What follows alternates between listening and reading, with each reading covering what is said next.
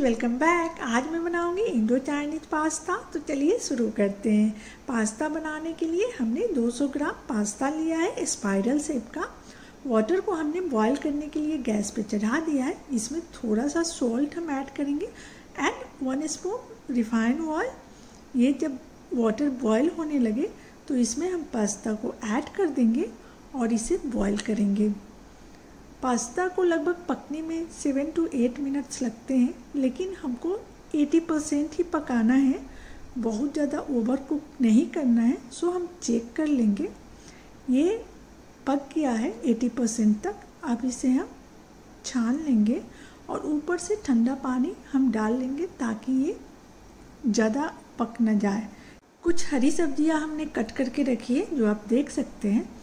Pan में two spoon हमने oil लिया। ऑयल जब गर्म हो जाए तो इसमें हम ऐड करेंगे जिंजर एंड गार्लिक ये कद्दूकस करके हमने रखा है। अब इसे थोड़ा सा ब्राउन होने तक हम चलाएँगे। एंड देन हम इसमें ग्रीन चिलीज ऐड कर देंगे। ग्रीन चिलीज आप जितना चाहो ऐड कर सकते हो। प्याज को भी हमने कट करके रखा था, इसे अब ऐड कर देंगे और थोड़ा देर इसे चलाएँगे। हल्का सा जब ये भून जाए तो इसमें हम ऐड करेंगे कैरट सब्ज़ियाँ आप अपने पसंद से एक दो कम या ज़्यादा डाल सकते हो, साथ ही हमने ऐड किया कैप्सिकम इसे भी हमने कट करके रखा था।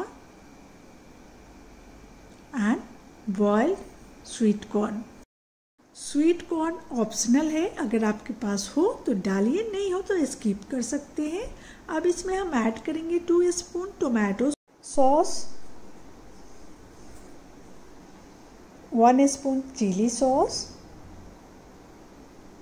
one spoon soya sauce and one spoon vinegar अब इसे अच्छी तरह एक मिनट हम चला लेंगे।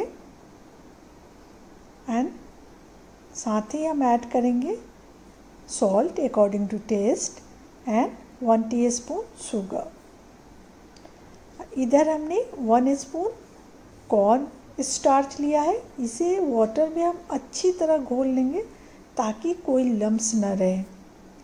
अब इसे हम सब्जियों में ऐड कर देंगे। एंड इसे मीडियम फ्लेम पे चलाते रहेंगे। धीरे धीरे इसमें कलर आएगा। जैसे जैसे ये कॉर्न स्टार्च के साथ सब्ज़ियाँ पकते जाएँगे, कलर आते जाएगा। ये देखिए कितना अच्छा कलर आ गया इसका।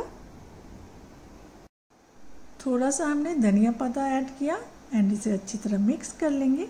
एक से दो मिनट पकाने के बाद इसमें हम पास्ता ऐड कर देंगे। पास्ता हमारा 80 परसेंट कुकड है, सो दो से तीन मिनट हम आराम से इसे सब्जियों के साथ पका सकते हैं, कोई टेंशन नहीं कि पास्ता ज़्यादा पक जाएगा। इसे टॉस करते हुए या चलाते हुए हम पका लेंगे। ये देखिए कितना अच्छा कलर इसका आया है। दो से तीन मिनट इसे टॉस करते हुए पका लेंगे। पास्ता हमारा पक चुका है। गैस को किया हमने ऑफ़ एंड पास्ता का प्लेटिंग कर लिए। ये देखिए यमी पास्ता रेडी है। आप भी खुश, आपके बच्चे भी खुश एंड आपके फैमिली भी खुश। अगर आपको हमारा रेसिपी पसंद आया हो तो please like share and subscribe my channel साथ ही बेल आइकन ज़रूर प्रेस करें ताकि आपको मिल सके मेरा रेसिपी सबसे पहले।